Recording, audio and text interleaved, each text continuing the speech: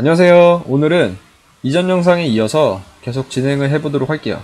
가방 여는 방법, 그리고 간단하게 돌칼 만들고 사용하는 방법에 대해서 터득을 했어요.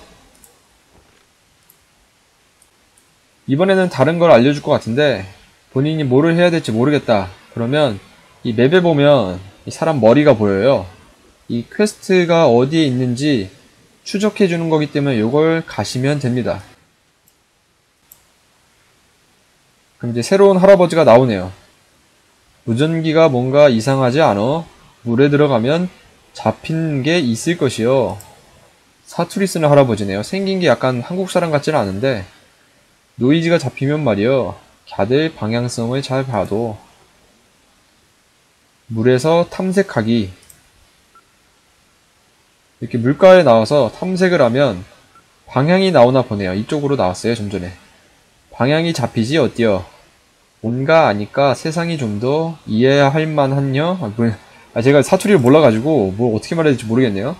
차분하게 마음을 가다듬고 방향을 따라가 보셔. 달의 크레이터 같은 구덩이가 보일 거요. 요 채팅창 같은 게 대화를 하는 곳이나 보네요. 그래서 여기서 막 이전에 NPC들이 했던 대화도 볼 수 있고 다른 사람이 한 말도 볼 수 있고 지역도 있어요. 그래서 제가 있는 지역에 다른 사람들도 같이 플레이를 하는 거 봐서는 멀티도 가능한 것 같습니다. 사람들이 막 얘기하고 있어요. thank you 이러고 그 외에 뭐 다른 말은 없네요. 그래서 지역별로 채팅창이 따로 있고 전체도 있네요. 그래서 이게 그 채팅창 같습니다. 일단 진행을 해보도록 할게요. 이쪽으로 가면 된다 그랬으니까 예, 도착을 했습니다. 돋보기 아이콘을 터치하여 자원의 분포를 확인하세요. 이렇게 돋보기를 누르면 주변에 있는 자원이랑 사냥감 그리고 건물들이 다 보이네요. 내 목소리 들리나요? 나는 개척회의 우르줄라 노악이에요. 발음하기 힘드네요. 또 새로운 사람이 또 나왔어요. 무전 상태 깨끗해요. 개척회의에서 일감을 찾고 있습니다. 내가 어릴 때 자주 하는 말이 있는데 들어볼래요? 별로 안 궁금합니다. 평생 돌날이나 만들 거예요? 아니면 나랑 같이 세상을 바꿔볼래요? 어렸을 때부터 들었다고 했는데 돌날 소리 하는 거 봐서는 이 사람이 굉장히 오래전에 온 것 같아요. 어렸을 때부터 여기서 살다가 어른이 된 상태인 것 같아요. 하는 말을 들어봐서는.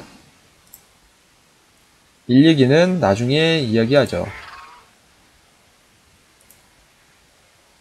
할아버지가 돌아왔네요. 자네 크레이터는 찾았는가? 그걸 보고 자네 기분이 좀 나아졌으면 좋겠어. 자, 드랑고에선 자신을 아는 게 중요해요. 자신의 스킬이 뭔지 이해해야지. 스킬 알려주나 보네요, 이번에. 스킬. 근접전. 자세히 보기. 이러면 이제 여기서 여러 가지를 볼 수가 있어요. 검연마, 도끼연마. 검 쓸 수도 있고 도끼 쓸 수도 있나 보네요. 전투 태세도 있고 한 손 무기, 양손 아이고. 이게 계속 이 NPC 대사가 그냥 중간중간 튀어나와요. 제 의도와 상관없이 이거 조금 짜증나네요. 자네 얘기를 듣자니 말이여 마을 섬으로 가다 불안정 섬에 온 것 같아. 마을 섬을 찾아 다시 가야 해요. 근데 몸 상태가 말이 아니겠구먼. 몸을 추스릴 필요가 있어. 작은 동물을 사냥해 고기라도 자셔야지. 맨손으로 싸우지 말고 장비할 만한 건 꼭 챙겨. 일단 장비는 이따가 챙기고 마저 보도록 할게요. 한 손 무기, 양손 무기 있고 장창 그리고 맨손도 있네요. 그래서 여기는 전부 근접 무기에 관한 스킬을 찍을 수 있는 곳 같아요. 그 외에도 뭐 굉장히 많아요. 얘는 전투 같고 생존, 채집, 무기 제작, 도축, 궁술, 궁술 한번 보고 퀘스트를 이어해 보도록 하겠습니다. 원거리 공격 강화 얘는 뭐 따로 활, 석공 이런 건 없는 것 같네요. 혹시나 해서 확인했는데 그 활을 쓸 때 각종 스킬에 대해서 여기서 배울 수 있는 것 같아요. 뭐 그 외에도 뭐 여러 가지 있으니까 천천히 확인하도록 하고 이 공룡들을 일단 때려잡도록 하겠습니다. 장비 여기 칼이 있네요. 서바이벌 칼을 장착하고 싶은데 조립 돌도끼를 장착하라고 저희한테 시켜요. 그리고 이 돌도끼를 가지고 이제 이 자그마한 공룡들을 때려잡으면 되겠네요. 어, 정신없어. 공격. 네, 노란색이 뜨면 회피. 그 다음에 공격. 공격키가 안 눌러지네요. 다른 거는. 이 회피가 약간 쿨타이밍이 있어요. 바로 회피를 쓸 수 있는 게 아니고, 이제 쓸 수 있네요. 노란색이 뜨면 회피를 쓰면 되는데, 잡았습니다. 이렇게 잡은 시체를 누르면, 고기를 획득할 수 있네요.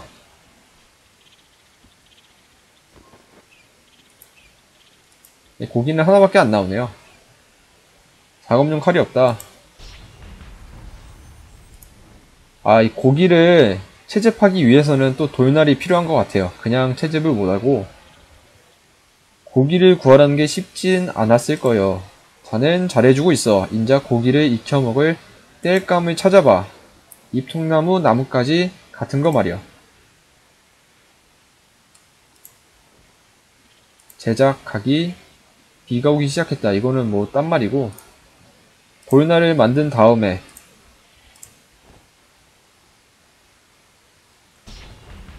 일단 이걸로 고기를 좀 채집을 할게요. 아, 좀 전에 시집을 해서 끝났나 보네요, 고기 자체는. 모닥불을 만들어야 되니까 주변에 나무를 찾아가지고 불 피우는 법은 아는가? 무전기 안에 금속 부싯돌이 있다고? 이건 좀 편하네요. 무전기를 이용하면 불을 피울 수 있나 봅니다. 제작 건설에서 휴식, 모닥불, 여기서 모닥불 만들 수가 있네요. 근처에다가 요 V자 표시를 누르면 제작이 될 것 같습니다.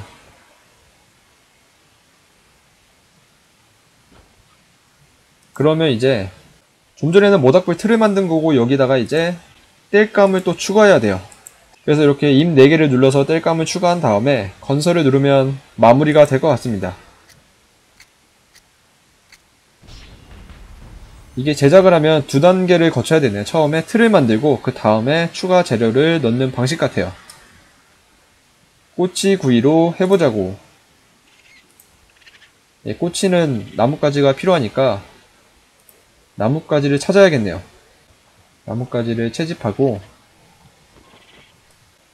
이 사람 지금 상태가 좀 안 좋아 보이는 게 기분 탓인지 모르겠어요. 얘가 지금 뭔가 빌빌거리는 게 일단 모닥불에서 잠깐 휴식을 먼저 하도록 하겠습니다. 이 사람 죽어가요 지금.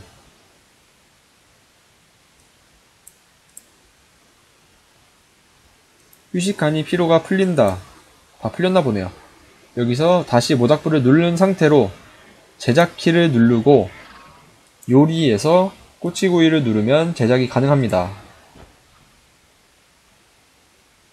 이거는 제가 어제 킨 거고 대추야자를 내려보면 이렇게 고기가 있습니다. 음식을 고른 다음에 이 음식을 어떻게 처리할지에 대해서 2단계가 또 있네요. 그래서 나뭇가지를 사용하면 꼬치가 완성이 돼요.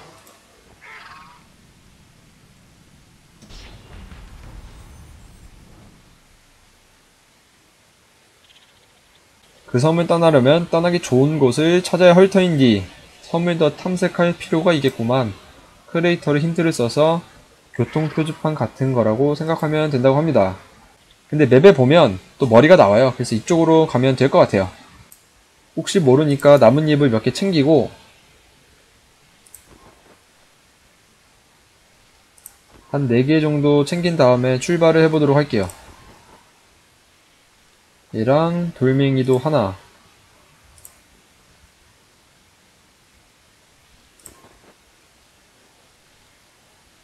예, 그럼 이제 다음 크레이터로 이동을 해보겠습니다.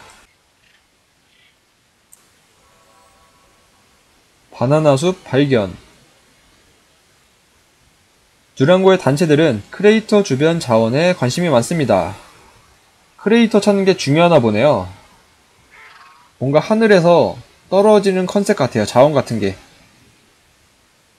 또 누가 연락을 오네요.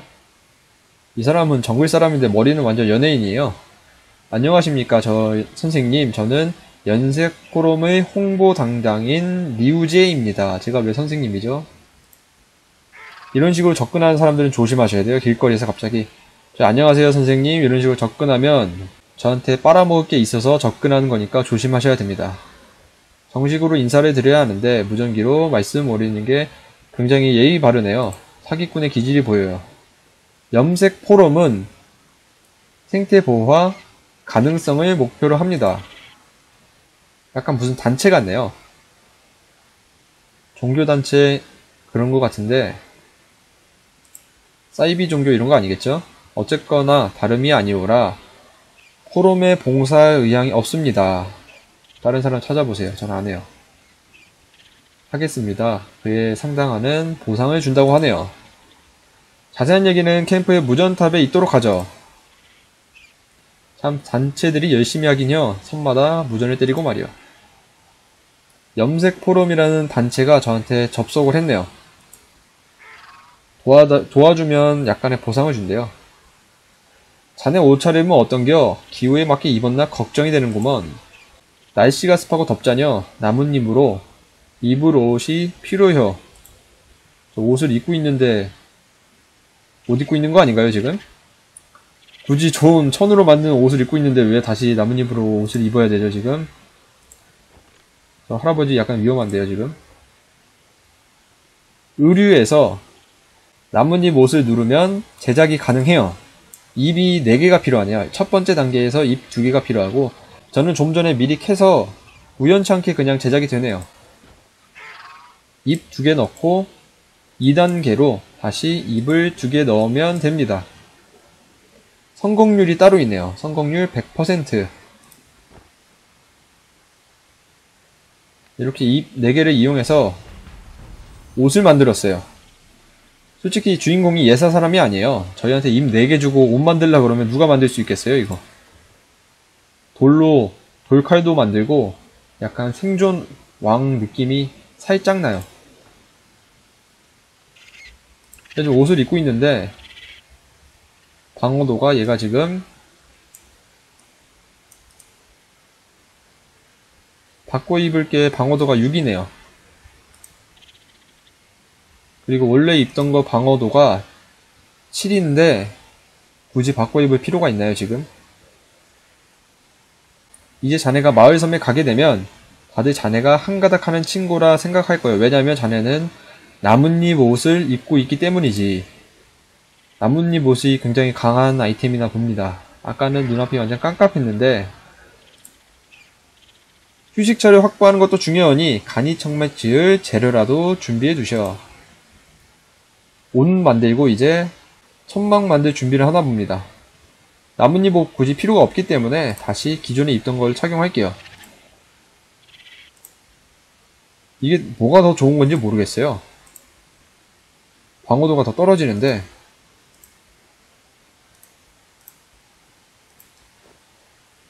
예, 그래서 이제 그 다음 퀘스트로 집을 만들 준비를 하면 되겠네요. 나뭇가지 하나랑 잎 3개가 더 필요합니다. 나뭇가지는 소철 같은 거, 나무, 여, 여기서 캐면 될 것 같아요. 일단 나뭇잎을 3개 캐고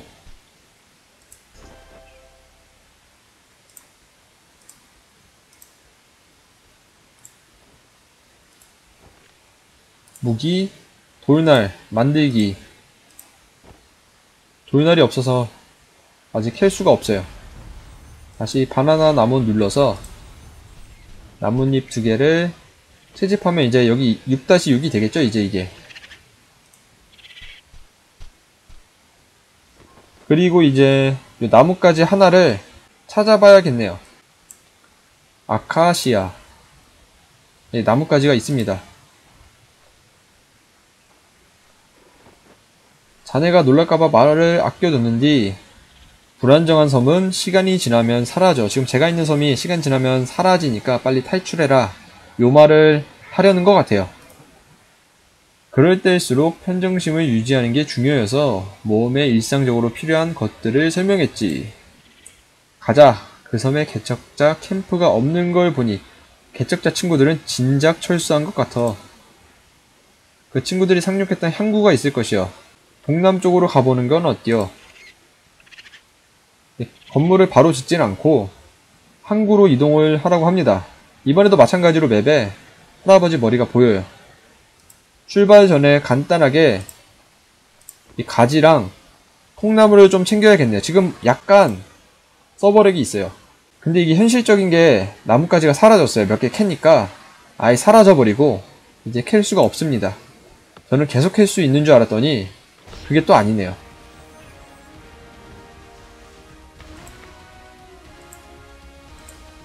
아카시아 나무 자체가 사라져 버렸어요. 그래서 약간 무한 파밍, 하나로 계속 파밍하는 건 안 되는 것 같아요.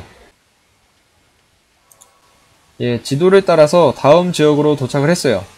갈 방법이 있다니 다행이구먼. 마을 섬으로 어여 가시오. 사는 게 쉽지 않지만 별뜰 날이 있을 거요. 또 보자고 자네. 떠나기. 어, 이거 보니까 아는 사람이 있는 섬으로 갈 수도 있네요. 이게 친구들이랑 하면 좋을 것 같아요. 이 적당한 섬은 랜덤으로 가는 것 같은데 아는 사람이 있는 섬으로 가면 좀 근처에서 같이 시작을 하는 시스템 같아요. 듀랑고에 먼저 정착한 친구의 집 근처에서 이렇게 써있네요. 친구가 이미 정착을 했다면 그 친구를 기준으로 해서 그 사람 근처에서 시작을 할 수 있게끔 만들어준 시스템 같아요. 이거 굉장히 좋네요, 이거. 이게 맵, 맵이 이렇게 큰 게 있으면 각각 구역별로 사는 것 같아요, 시스템이. 그래서 친구 근처로 게임을 시작할 수 있게 만들어준 시스템 같습니다. 저는 뭐 지금 혼자 하기 때문에 적당한 섬으로 가보도록 할게요. 불안정 섬을 떠나 마을 섬에 상륙한 뒤 돌아다니다 이곳까지 왔다. 제가 있는 곳이 마을 섬이라는 곳이에요. 마을 섬엔 잘 도착했나요? 워프홀을 발견했군요.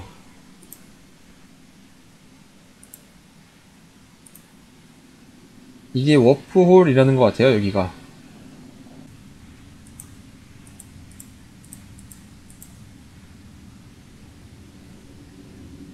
이 사유지를 저희가 만들어서 적절히 좋은 대로 자리를 잡으면 될 것 같습니다. 사유지, 사유지 선언. 마음에 드는 곳에서 사유지 선언 버튼을 누르면 내 사유지가 됩니다. 예, 지금 제가 지주가 되기 직전이네요. 오자마자 땅 주인이 됐어요. 여기 괜찮은 곳이네요, 여기. 선언을 하면 제 땅이 돼요. 이곳을 내 땅으로 선언하노라. 이제부터 이곳은 제 땅입니다. 인자 거긴 자네 땅이요. 굉장히 땅이 빨리 구해지네요. 거의 조선이라는 나라에서는 60년 동안 일해야지 자기 땅과 집을 건설할 수 있는데 벌써 땅을 획득했습니다. 간이 천막으로 집이라도 갖춰야 하지 않겠어? 준비도 해왔을 거고 말이요. 옆에 얼룩말 있네요. 뭐 저 사람 막 뭐 타고 댕겨요. 간이천망 듣기. 이거 눌러서 제작 건설. 휴식. 간이 천막이 이거겠죠? 예, 대충 느낌이 옵니다, 이제. 간이 천막을 끄트머리에 지으면 좋을 것 같아요.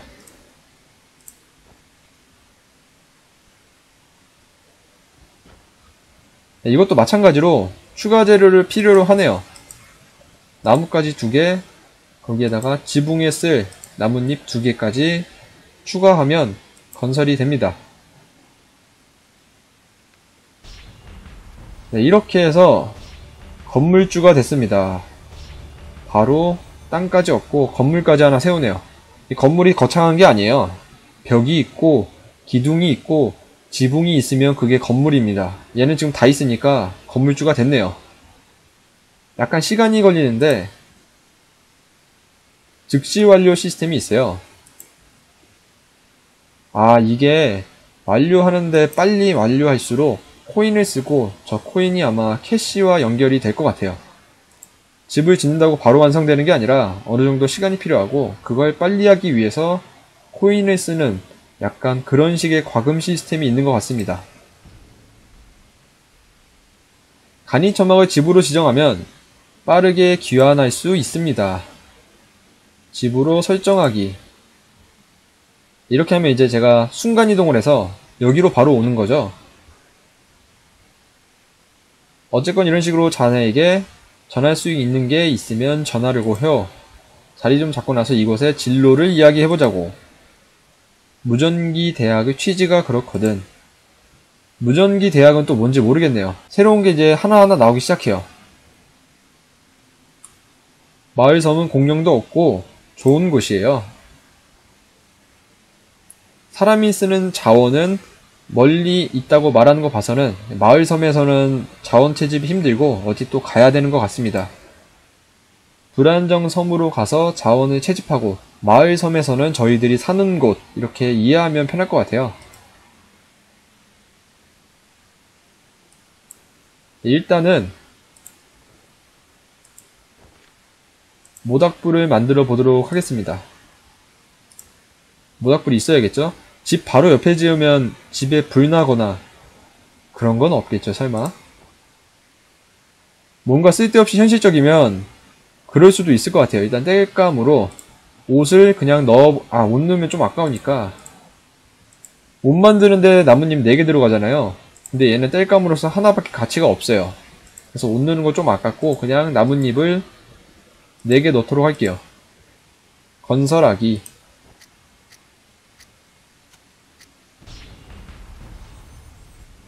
계속 이거 누르라고 하는데 저는 저 하고 싶은 걸 할 겁니다. 저 안 누를 거예요.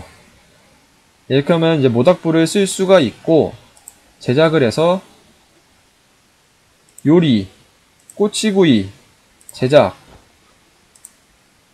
대추 야자를 이용해서 나무 막대기랑 하면 이렇게 설익은 대추 야자 꼬치구이가 완성이 됩니다. 약간 좀 창조적으로 저희가 하고 싶은 대로 할 수 있어서 좋네요. 굉장히 마음에 듭니다, 이런 거. 그리고 이제 대화창을 보면 대화창이 아니라 제작 건설에 또 두 개가 추가가 됐네요. 재료 가공하기, 잎 더미, 잎을 묶어 만든 잎 더미, 줄기로도 만들 수 있다. 이렇게 써 있는데 용도가 뭔지 모르겠어요. 어디다가 쓰는지 모르겠네요. 아, 이런 식으로 별을 체크하면 우선순위로 보여주는 것 같아요, 저희한테. 중요한 아이템은 이 별을 체크해 두면 나중에 도움이 될 것 같습니다. 그 다음 이제 보관함이 있네요. 바구니. 물건을 보관할 수 있는 바구니. 그러니까 한마디로 상자네요, 그냥. 그리고 간이 작업 때는 무기를 만들 수가 있대요. 일단은 요거 제작이 가능하니까 간이 작업대를 만들어 보도록 하겠습니다. 간이 작업대는 여기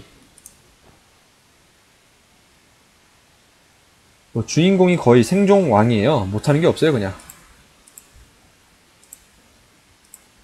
어쩌다 보니까 다 재료가 준비가 됐어요. 제가 일부러 준비한 게 아니라 그냥 주섬주섬 하다 보니까 추가 재료도 다 준비가 된 상태네요. 건설 제작 시간 0초 저 제작 시간에 따라서 이 캐시 아이템을 사용해서 빨리 제작할지 그거를 결정하는 것 같습니다. 그래서 이 간이 작업대를 눌러보면 이력을 볼 수 있네요. 저는 뭐 아무것도 안 했으니까 아무것도 안 나오겠죠? 이 건설한 거 과정이 나오고 제작을 누르면 이 간이 작업대에서 뭐 제작하는 방법은 아직 모르겠네요. 이 제작을 누르면 뭐 할 수 있을 것 같은데 여기로 들어와요.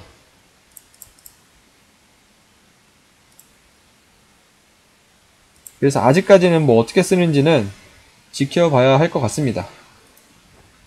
예, 이렇게 해서 이번 영상에서는 간단하게 옷을 제작하는 방법과 부동산을 구입하는 방법, 그리고 건물주가 되는 방법과 마지막으로 이 가구를 제작하는 방법까지 전부 알아봤어요. 여기 약간 직관력이 좋은 사람한테 좋은 게임 같아요. 느낌상 요거 하면 되지 않을까 하고 하면 되기 때문에 뭐 시키는 대로 하는 게 아니라 자기 느낌을 따라서 창조적으로 아이템 제작하는 게 가능합니다. 요거 재밌네요. 네, 이렇게 해서 이번 영상은 마치도록 하고 다음에 다시 찾아뵙도록 할게요. 영상은 여기서 마무리하도록 하겠습니다.